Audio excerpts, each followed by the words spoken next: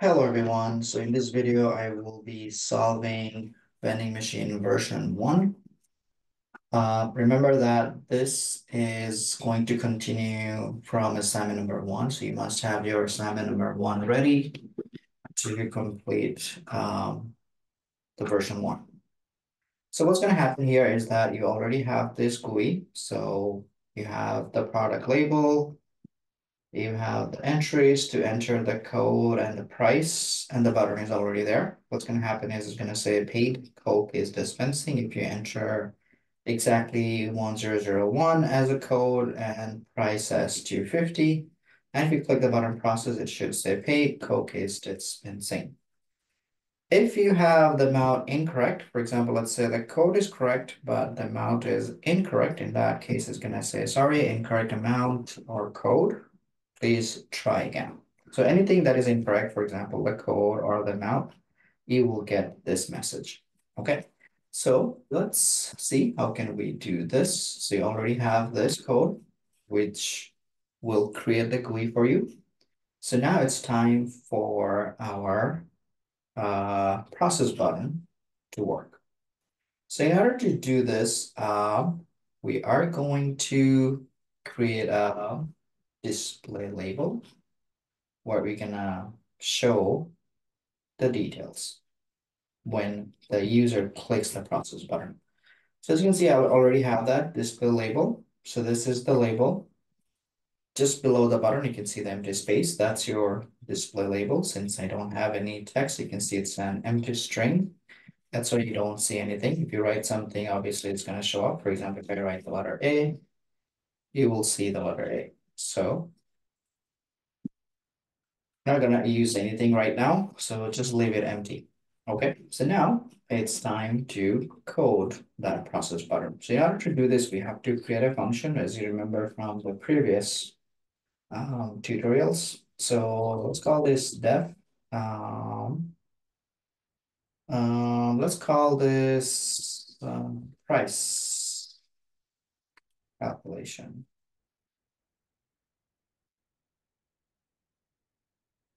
So we'll check the price and give you the product.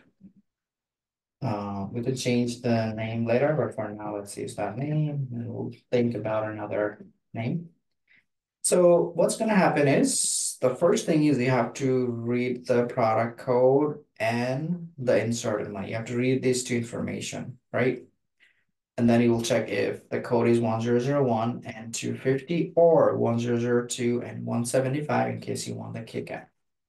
So I'm going to create a variable. Let's call this code, or let's call this user code, since this is coming from the user. And let's call this user.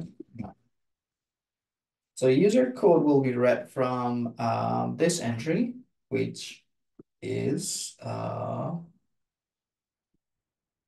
let's look at the entry, product price entry. Um, actually, I have the same name, so I'm gonna just use uh, the code to avoid confusion. Let's just say code. And let's call this one. Since I already have the variable. Um, to avoid the confusion, I'll just use the variable name code and money. So code is going to be read from a user code. So we'll say user code dot get. So this will read whatever you're going to type as your product code and then money. Uh, we're going to read this from user again. User amount dot get. So we got the code and we got the money. So now I have to check if the user code is 1001 and the money is 250 or not. So in order to do this, we have to create a conditional statement. So let's do that. Let me say if the code is going to be 1001. And we want to check if the money is going to be equal to uh, 250. Now, there are some problems here.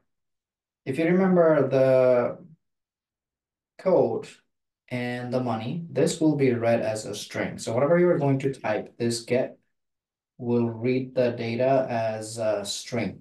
So if you say one zero zero one and the money is two fifty, this is an integer number. And this is going to be a float. So this will create a problem. So to avoid this, what we can do is we can use this as a string or we can convert this um, this one as a int or float. Okay, so what we can do is when we are reading the data, the user code is going to be an integer number. So what we can do is you can use the int function here to convert the string into an int. And the user money or user amount is going to be a float because this is 250. So what you can do is you can use the float function here. So that will not have that issue anymore. Okay. So code is going to be converted into an int and the user amount will be converted into a float. Again, anything that you're reading from an entry is a string. But we are compare this, we are comparing this with the 1001, which is an integer number. And the money, which is a float, which is why I converted both of them. Okay, cool. So if we see the code is 1001 and the money is going to be 250, I know that the user um, wants the Coke. So what we're gonna say is, we're gonna say paid Coke is dispensing. Okay. However, this message will be passed to our display label. So what we're going to do is we're going to config that display label. So display label dot config. And the text that we want to say is, we're going to say paid Coke is dispensing. So you're going to say paid Coke is dispensing. Okay. So that's for Coke. So I'm going to write a comment here. And then we're gonna have the same thing for uh KitKat. KitKat. Um, so if the user wants Coke. And this one, if the user wants KitKat. What we can do is just copy this piece of code. It's gonna have pretty much the same thing, except that the code and amount is going to be different. So I'm gonna create a, I'm gonna create a L, elif instead of creating another if. And this one going to be 1002. The price is going to be 175. So if this is the case that the code is 1002 and the money is 1.75, we will config this. And I was not gonna say Coke is dispensing, we say Kit Kat is dispensing, Kit Kat is dispensing. There you go. Now these two are not working if it is not Coke or Kit Kat, if anything is wrong. So if the user does not type uh, the code or amount correctly, then the elif sorry, the else statement is gonna kick in. So what we're gonna say here, we're gonna say, sorry, incorrect amount or code, please try again.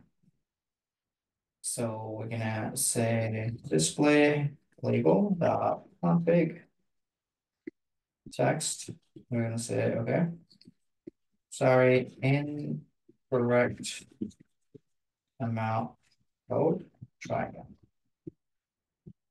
Okay, so if anything is wrong, if it is not 1001 or 1002, or if the money is not right, we will send them this message so they can fix their code or the amount. All right, so we're done with the function, but remember that we have to pass this function to the process button because the process button is going to check this. So if I click on the process, all these things is gonna work. Right now, we have the function, but obviously the function is not gonna work unless you call the function. So um, the process button will call the function. So if I click the process button, it will call the price calculation. Okay.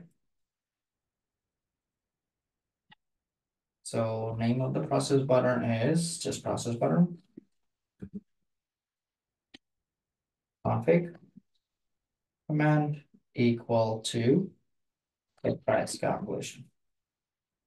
So now let's see if the code works. It's time to test our code. So if I first type one zero zero one and I'm gonna type two fifty, click on process. You can see it says paid Coke is dispensing, which is correct. If I do one zero zero two and one point seven five, click on process, you can see it says paid Kit Kat is dispensing. If I do anything wrong, let's say I put one zero zero two and I'm putting, let's say, two dollars, which is incorrect. And you can see it says, sorry, incorrect amount, code, try again. Okay, so that is about the version one, which is the simpler version. Um, we still have two more versions to work on. Uh, but this is the version one. So I hope this makes sense. Thank you for watching, guys. Bye.